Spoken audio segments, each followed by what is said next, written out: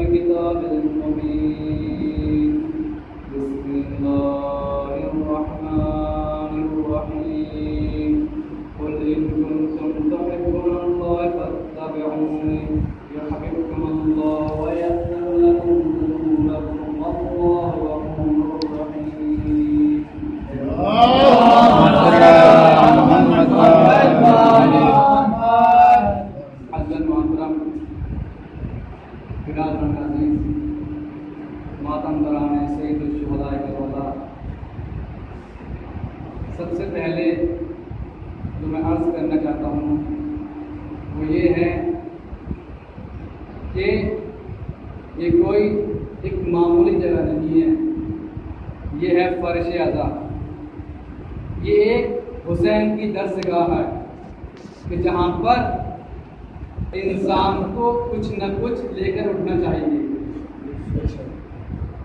आज हम देखते हैं कि हर जगह आज़ादारी होती है। हर जगह मजलिस मातम बर्पा होता है गरियाजारी होती है।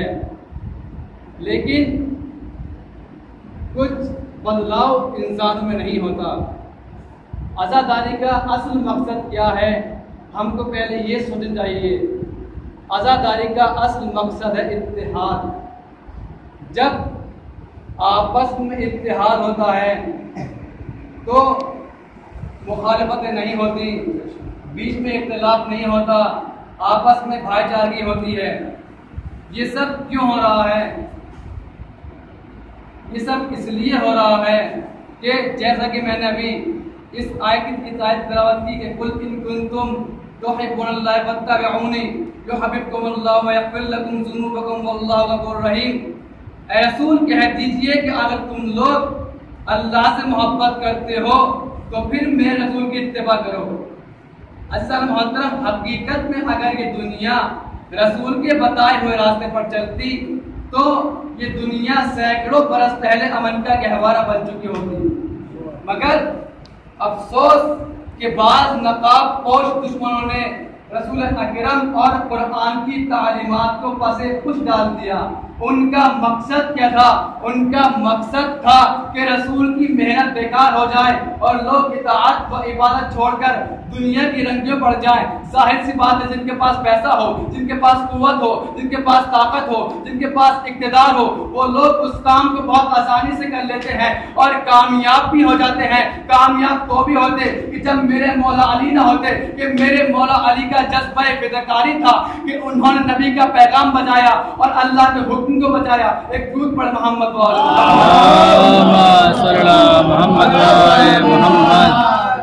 रसूल खुदा इरशाद फरमाते हैं कि अली माल हक वल हक माल अली।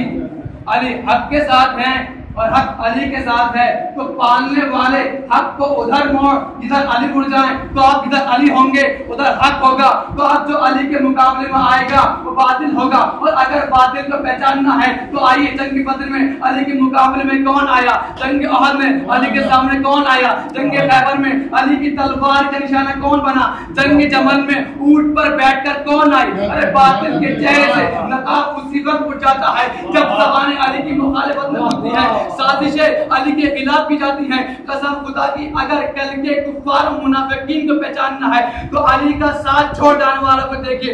और अगर आज के कुफार मुनाफिकीन को पहचानना है तो ज़िक्र अली छेड़ कर देखिए। अगर चेहरा खिल गया तो मोमिन और अगर चेहरा झुलस गया तो मुनाफिक एक ग्रुप बड़ा मोहम्मद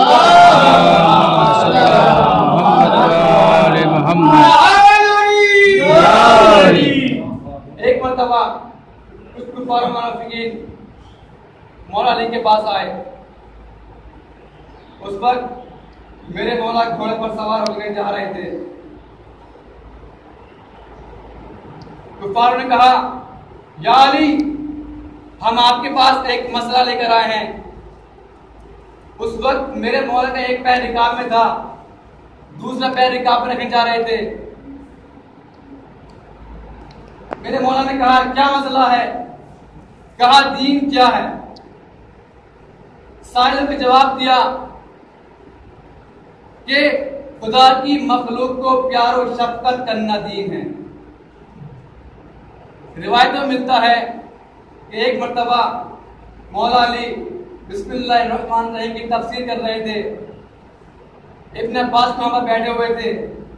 बिस्मिल्लाह की तफसीर करते करते रात खत्म हो गई, मगर बिस्मिल्लाह के फजाइल खत्म नहीं हुए। तो मौला अली ने इब्न अब्बास से कहा, इब्न अब्बास, मुख्तसर न्यू समझ लो कि जो कुछ कुरान में है, वो सूरह हमद में है, और जो कुछ सूरह हमद में है, वो बाय बिस्मिल्लाह में है, और जो कुछ बाय बिस्मिल्लाह में है, वो बेकिस नुक्ते में है, वो आना नुक्ता तलबा, और वो नुक्ता में हूँ जो इसके नीचे लगा हुआ है, एक दूध पड़े मोहम्मद एक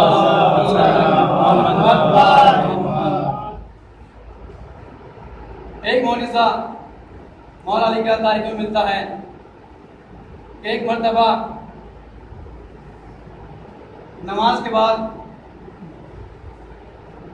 एक साहिल रसूल फतेह खिदमत में आया और अर्ज़ की, या रसूल अल्लाह मैं 600 दिरहम का मकरूज हूँ। मेरी इतजा आपसे है कि आप मेरी मदद की ताकि मैं उसका कर्ज अदा करूँ। तो उस वक्त मस्जिद में 600 अपराधी मौजूद थे। तो रसूल अल्लाह ने सबसे कहा कि हर शख्स इस साहिल को एक एक दिरहम दे ताकि इसके पास पूरे छह दिरहम हो जाएँ। तो मौलाना ने कहा कि नहीं, इस साहिल को छह सौ दिरहम मैं देता हूँ। मौला अली ने अपने केसे में हाथ डाला और छह सौ दिरहम उस फकीर को दिए। वहाँ पर खुद तीनों मौजूद थे। माजल्ला तीनों ने शक किया कि शायद मौला अली रात में कहीं जाते हैं और मादल्ला चोर करके लाते हैं। उसमें से दूसरे ने कहा कि आज की रात मैं मौला अली के साथ रहूँगा। देखता हूँ कि क्या करते हैं। कहा, ठीक है। रात में मौला अली उसी रास्ते से गुजरे जहाँ पर वो बदबक खड़ा था। मौला अली ने कहा क्या वो चल रहे हैं? कहा चलते हैं? कहा चलो? तो मौला कायनात ने कहा कि तुम अपनी आँखों को बंद करो। उसने अपनी आँखें बंद करी। जब उसने कहा, आँखें खोलो।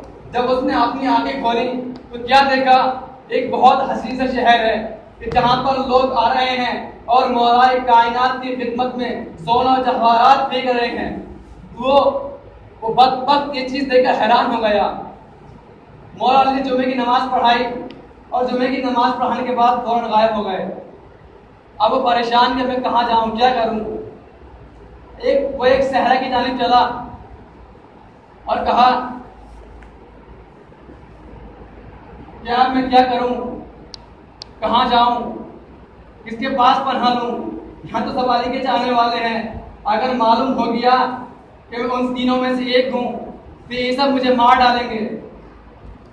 तो गया वो उन किसानों के पास।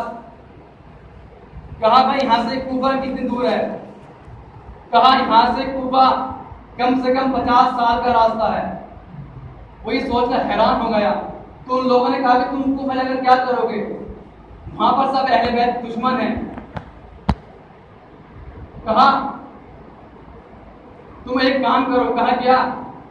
कहा कि हम फ़सल बो रहे हैं। तुम भी हमारे साथ फ़सल बो, ताकि तुम भी कुछ खा सको। कहा, ठीक है। उसने गेहूँ के दाने लिए और डालने शुरू किए। तो एक भी दाना नहीं होगा तो उन लोगों ने कहा कि तू कैसा अली का चाहने वाला है? कि तूने गेहूँ के दाने ज़मीन पर डाले और नहीं होगे देख, हम अली का नाम लेकर उसके दुश्मन पर लाना भेजते हैं। दाना डालते हैं, दाना कौन हो जाता है? तो उस वक्त में दाना डाला और सौ हज़ार मरतबा अपने ऊपर से भेजी। एक दूर पड़े मोहम्मद वाला। सौ हज़ार मरतबा उसने अपने ऊपर खुद लाना भेजी है। जब अगले जुम्मा को मौला अली आए तो क्या देखा कि वह एक कोने में बैठा हुआ है और डरो खौफ से थर्रा रहा है, काँप रहा है। तो मौला ने कहा, क्या बात है? कहा मैं आपके आगे हाथ जोड़ता हूँ, आपके पैर पकड़ता हूँ, मैं आप पर अभी इस्लाम लाता हूँ, आप पर ईमान लाता हूँ। कि मेरी, इनके सामने की इम्फान न खोल देना, वरना ये सब मुझे मार डालेंगे। कहा टेंशन मत ले। कहा मुझे मालूम है कि आप ऐसा नहीं करने वाले। उसके बाद मौल ने नमाज़ जुमा पढ़ाई। और जो उनके पास सोना जवाहरात आया था, वो सब उस वक्त से कहा कि भर ले अपने गीसे में। उसने भर लिया। कहा जब आगे बंद कर उसने अपनी आगे बंद करी, फिर क्या देखा कि वो उसी जगह खड़ा है कि जहाँ से गया था। फिर उस बद वक्त ने अपना ही इस्लाम इख्तियार कर लिया और उन दोनों के पास गया। तो उन दोनों ने पूछा, क्या हुआ? क्या देखा? क्या करा मौलानी ने? कहा, मत पूछो। कहा, क्यों? जब उसने ये पूरा वाक्य बताया तो उन दोनों बदबख्तों ने कहा कि ये वाक्य किसी को मालूम न होने पाए, वरना सब अभी के भी अली की बायत कर लेंगे। एक दूध पड़े मोहम्मद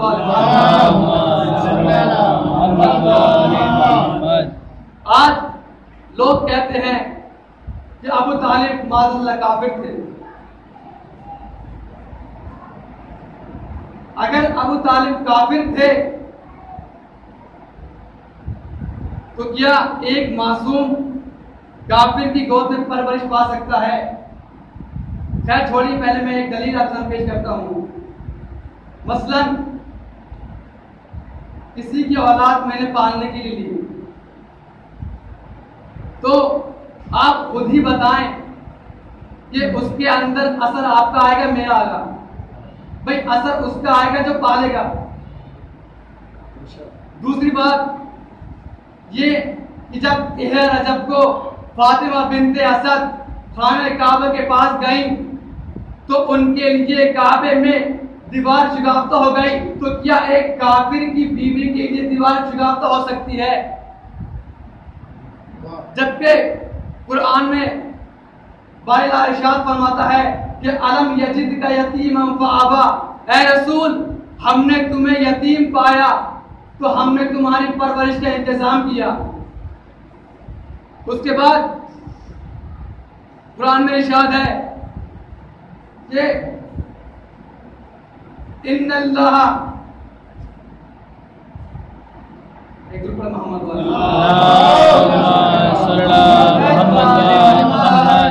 हर काफिर नजिस है। काफिर के हाथ का हाथ का खाना हराम है। तो क्या एक मासूम काफिर की गोद में पल सकता है? काफिर के हाथ का खा सकता है? क्या माजल्ला उनसे भूल चुक हो गई थी? आप खुद ही फैसला करें।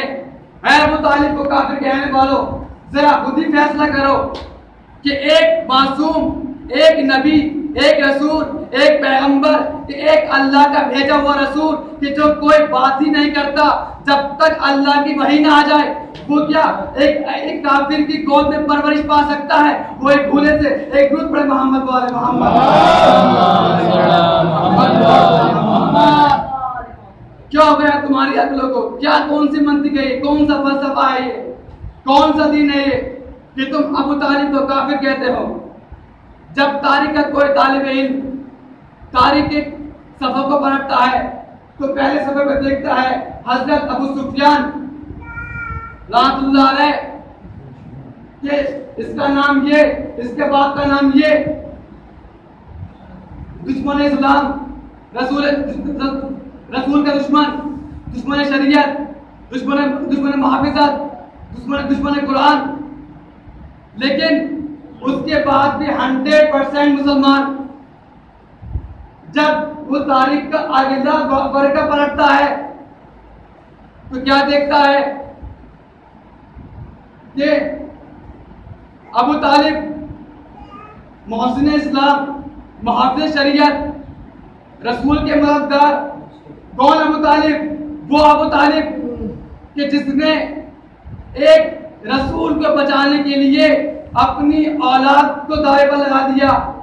पूरी उम्मत से दुश्मनी मोल ली। तब भी वो हंड्रेड परसेंट काफिर अब वो तारीख का तालिब परेशान हो गया, हैरान हो गया।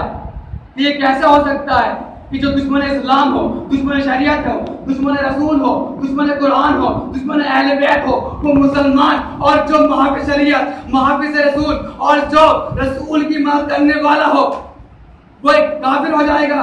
ये कैसे हो सकता है? कौन अबू सुफियान? वो अबू सुफियान? कि जो चालीस जंग में रसूल अल्लाह के मुकाबले में आता रहा, जंग बद्र में आने के मुकाबले में रसूल अल्लाह के मुकाबले में आया, जंग के अहद में रसूल अल्लाह के मुकाबले में आया। लेकिन तब भी लोग उसे मुसलमान कहते हैं, क्या हो गया लोगों के आज अगलों को? हिस्यान हो गया अकल को उनकी आज अबू तालिब को काफिर कहते हैं। क्यों? इसकी वजह क्या है? हालाँकि अबू सुफियान ने रसूल अल्लाह के हर हर कदम पर मुखालिफत की है और उनके रास्ते में कांटे बिछाए हैं। नीचे मोहनदीन लिखते हैं कि अबू सुफियान माता मुस्लिमा, अबू सुफियान मुसलमान मरा।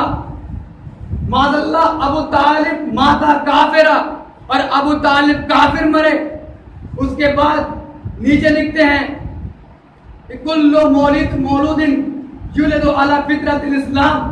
हर बच्चा इस्लाम की फितरत पर पैदा होता है, लेकिन पालने वाले उसको अपना जैसा बना देते हैं। उसके बाद नीचे रसूलुल्लाह का यही कौल है कि कुल्लो मौलूदिन युलिदु अला फितरत इस्लाम।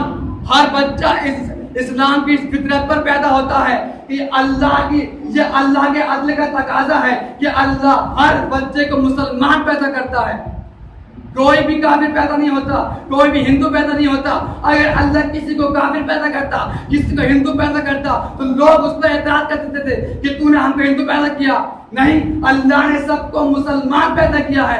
वो जिसकी गोद में पले जैसा पले कि जैसे रसूल ने फरमाया कि जब कोई बच्चा किसी की गोद में पलता है, किसी की गोद में पलकर जवान होता है तो ये समझ लो कि जो अदाएँ उसके अंदर आए, जो आदतें उसके अंदर आए, समझ लो ये आदतें उसी की है कि जिसने इसको पाला है। अरे, तुमने मुसलमान को, तुमने मोहम्मद को चालीस साल बाद मोहम्मद माना। क्या? तुमने उनको बचपन में मोहम्मद माना नहीं माना? जबकि रसूल अल्लाह अबू तालिब की आगोश में आए। जब अबू तालिब की आगोश से पढ़कर जवान हुए तो वो कहुल खबैस की ऊंचाई पर गए और कहा, कुलू ला इलाहा तुफलिहू। कि ला इल्लल्लाह का इकरार करो। और अब तो तुम्हें तस्लीम करना पड़ेगा कि हर बच्चा फितरत इस्लाम पर पैदा होता है। लोग कहते हैं आज, अबू सुफियान माता मुस्लिमा, अबू तालिब माता काफिरा, अबू सुफियान मुसलमान मरा और अबू तालिब काफिर मरे। मालूम हो जाएगा कि काफिर कौन है? और अबू तालिब कौन है? अगर वाकई में वो हलाली है, जहाँ तक मेरी आवाज़ जा रही है, और जो अबू तालिब को काफिर कहते हैं, वो भी अपना कान खोल कर सुन ले। इस जुमले को गौर से सुने। अगर वो वाकई में हलाली है, इतना सा भी शर्मिंदगी रखता है तो वो आज ही कबूल कर लेगा कि हाँ अबू सुफियान काफिर है, अबू तालिब मुसलमान है। इस जुमले को आप लिख के रखना कि माता अबू सुफियान, माता मुस्लिमा, अबू तालिब, माता काफिरा, लिखे रहना। मैं अभी जाता हूँ इकट्ठे के सारे मुसलमानों को, और आज फैसला करता हूँ कि अबू तालिब काफिर है, या अबू सुफियान काफिर है। आज देखते हैं कौन का, कौन काफिर है। आइए, आज मैं जाता हूँ, आज मैं फैसला करता हूँ। आइए, इस जुमले को लिखे रहना, मिटाना मत। मैं इस जुमले की कोई कीमत नहीं लूँगा। कीमत उससे दूँगा कि जिसने मुझे इस मकाम तक मुस्लिमा, अबू तालिब माता काफिरा अबू सुफियान का अबू सुफियान मुसलमान। और और अबू तालिब काफिर थे। तो आइए आज फैसला करता हूँ। आज मैं अली का नारा लगा के फैसला करता हूँ। आज से अगर मुझसे फैसला न हो पाए तो मुझको अली का नारा लगाने वाला मत कहना। कभी मत कहना, मुझको अली का मानने वाला मत कहना। अगर मैं आज अली का नारा फैसला लगाकर, अली का नारा लगाकर फैसला न कर दूँ, सुनो जुमला। सुनो, आइए अपने होश आवाज़ से, अपने तोरो कान खोल कर सुनिए। एक जुमला से कहूँगा कि अबू तालिब ने दो को पाला एक मोहम्मद बना एक अली बना और अब सुफियान ने दो को पाला एक एक अबू एक यजीद बना एक माविया बना एक रूह पर मोहम्मद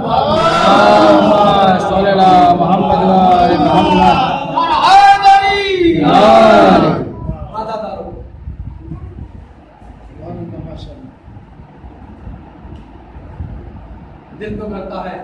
काश शहजादे को नैन के साथ हो।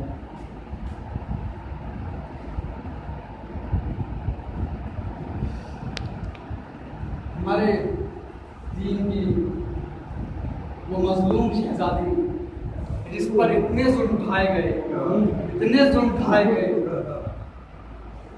कि उनको कहना पड़ा है बाबा जान, आपके जाने के बाद जालिमों ने मुझ पर इतने सुन किए इतने सुन किए कि दिन की तारीखें रातों में बदल गई। हाय अजादारो वो शहजादे कौन है कि जिसके लिए रसूल अल्लाह खिदमत के लिए खड़े हो जाते थे? इधर रसूल की वफात हुई। इधर कमीने फातिमा के दरवाजे पर आए। और कहने लगे कि अली को बाहर निकालो हाय, शहजादी ये समझ रही थी कि अगर मैं दरवाजे पर जाऊँगी तो शायद ये मान जाएँ। शायद ये सोचे कि रसूल की बेटी है। शायद उनके एहतराम से मेरा एहतराम भी करें, कहीं ये चले जाए, लेकिन वो कमीने नहीं गए। हाँ दादा वो शहजादे कौन है? कि जिसको उसके बाबा के जाने के बाद जालिमों ने चार घंटे अपने दरबार में खड़ा रखा। हाय मेरी शहजादी किस तरह उसने जुल्म सहे होंगे? जानते हैं दारो बीबी अपनी ज़िंदगी में सिर्फ़ चार दफ़ा मुस्कुराई, चार दफ़ा। एक मरतबा उस वक्त कि जब मौलाए कायनात का रिश्ता आया और सितारा उनकी चौखट चूम कर गया। दूसरी मरतबा उस वक्त मुस्कुराई कि जब इमाम हसन की विरादत हुई। तीसरी मरतबा उस वक्त मुस्कुराई जब इमाम हुसैन की विरादत हुई और हज़रत आरो चौथी मरतबा उस वक्त मुस्कुराई कि जब रसूल खुदा ने उनसे कहा, ऐ फातिमा है मेरी पारा जिगर है मेरी लगते जिगर, हौसे कौसर पर सबसे पहले तुम मुझसे मुलाकात करोगी। तुम ही मुझसे मुलाकात करोगी। हाँ सदारो रसूल अल्लाह के जाने के बाद रिवायत में छह रिवायतें मिलती हैं कि एक रिवायत में मिलता है कि चालीस दिन बाद चौदह जमात सानी को। और एक रिवायत में मिलता है कि नब्बे दिन बाद एक रिवायत में मिलता है पचहत्तर दिन बाद एक मिलता है पचानवे दिन बाद। एक रिवायत में मिलता है नब्बे सौ दिन बाद एक रिवायत में मिलता है एक सौ बीस दिन बाद। अरे चाहे ये नब्बे दिन बाद हो सौ बीस दिन बाद हो। मैं कसम खाकर कहता हूँ, कुरान पाक की और फातिमा की इसमत की कसम खाकर कहता हूँ कि जब से रसूल खुदा की वफात हुई थी कभी बीबी ने दाएँ हाथ से तस्बीह नहीं पड़ी हाँ दादा कभी भी बीबी ने दाएँ हाथ से तस्बीह नहीं पढ़ी। हाँ आखिरी शब्द जब बीबी ने अपना कांपता हुआ हाथ अपने पहलू से हटाया तो जब मौला अली ने कहा कि ये हाथ तुम्हें लहू में तरक्यू है? तो मौला अली से चीख मारकर कहा ऐ फातिमा जरा ये बताओ कि तुम्हारा हाथ लहू में तरक्यू है? तो फातिमा हाथ जोड़कर कहती है, ऐ मौला, मुझको माफ़ करना। अगर मेरी खिदमत में कोई कमी हो गई है तो मुझको माफ़ करना। मौला अली कहते हैं ऐ फातिमा, जरा ये तो बताओ कि तुम्हारे हाथ पर ये खून कैसा फिर फातिमा कहती है, ऐ मौला, मुझे माफ़ करना। अगर मुझसे खिदमत में कोई कमी हो गई है तो मुझे माफ़ करना। मौला अली कहते हैं, फातिमा सब छोड़ी पहले ये बताइए कि आपके हाथ पर ये खून कैसा है? तो फातिमा कहती है अली, उस वक्त के जब मुझ पर जता हुआ दरवाज़ा गिराया गया था। तो मेरी पसलियाँ टूट गई थी। अरे मेरी बात, मेरी दाएँ पर दाएँ तरफ़ की पसलियाँ बाएँ तरफ़ और बाएँ की पसलियाँ दाएँ तरफ़ हो गई थी।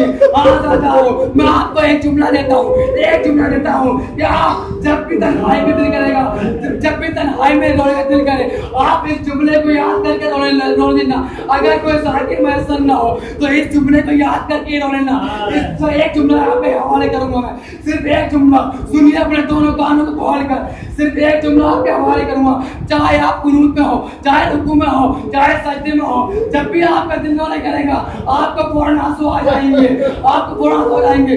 बस मेरे साथ मन्नत करिए। एक मिनट एक मिनट। बस अपने चेहरे को उठाइए, बस एक मिनट उठाइए, आजादार, कसम खुदा की छत्तीस बदमाश, रसूल फातिमा जहरा के दरवाजे के बाहर खड़े होकर धक्का दे रहे थे, और मेरी शहजादी तन्हा, घर के अंदर खड़े होकर दरवाजे को रोक रही थी।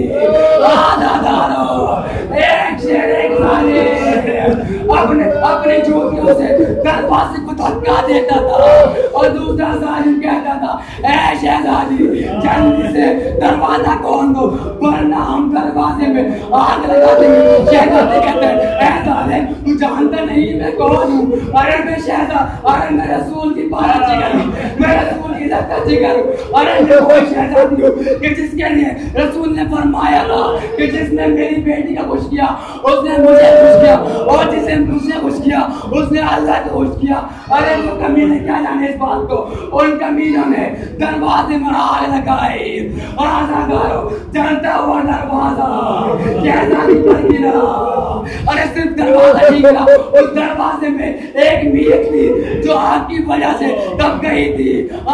आजादारो वो जनाब फातिमा जहरा के आगे पहलू में लगी। अरे, एक फातिमा आगे बढ़ा और दासियाना लहराता हुआ आया।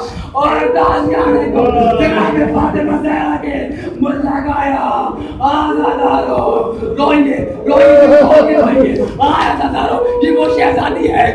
शहजादी थी कि जिसके लिए अल्लाह ने अली को खल किया, रसूल को खल किया, इस पूरी दुनिया को खल किया। आज उसी आज वही दुनिया कि हमारी शहजादी को सुन कर रही है। कितने अफसोस की बात है, कितने रोने की बात है, कितने गौरव फ़िक्र करने की बात है। आजादारो रोइए रोइए आजादारो हमारी शहजादी। जब उन पर दरवाज़ा गिराया गया तो उनके बेसाख का उनकी आवाज़ निकली। यारी यारी मेरी मदद को आई है मौत से शहीद हो गया। फिर से दौड़ती हुई आई। कहा भी क्या हुआ? कहा अली को बुलाओ। मौत से शहीद हो गया। फिर से कहती है अरे अली को जालिम रस्सी में रस्सी ले लेकिन जल्दी से रसूल का मामा पहना। अरे रिदा ओढ़ी मोहम्मद के नालैन पहने और मोहम्मद के अंदाज में चली और रोजा रसूल पर पहुँची।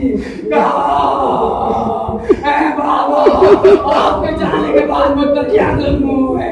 आज़ाद अभी थोड़ी देर ना गुजरी थी कि महाराज के है? ए फातिमा कहीं बददुआ ना करना, वरना पूरा गुफा, पूरा मदीना गर्क हो जाएगा। एक मोमिन जो मदीने में रहता था पहली बार शाम गया था। वहाँ पर उसने क्या देखा? कि सोने इस सोने की तली है और चांदी के पंजे रखे हैं, सब कुछ रखा है। उसने इमाम इमाम इमाम रसा की ज़ियारत उठाई और कहा, अस्सलाम वालेका या गरीब अलौरबा और बैठ गया, और कहने लगा, ए इमाम रसा, मुझे माफ़ करिए, मैं आइंदा आपको गरीब नहीं कहूँगा। अरे गरीब को देखना है तो आइए मेरे साथ, जन्नत चलिए आपकी दादी। गरीब है, आपकी दादी। अरे ऐसी मजलूमा है कि जहाँ पर किसी को जाने नहीं दिया था अगर कोई उनकी इज़्ज़त होता भी है तो उससे कहा आहिस्ता रहो आहिस्ता रहो आहिस्ता रहो। अरे आज सब उलमा कहते हैं, जन्नतुल बकी का कब्रिस्तान। मैं कहता हूँ, जन्नतुल बकी कब्रिस्तान नहीं, बल्कि जन्नतुल बकी का जिंदान अरे कब्रिस्तान में कभी जुल्म नहीं होता, कभी जालिमों के पहरे नहीं होते। मेरी शहजादी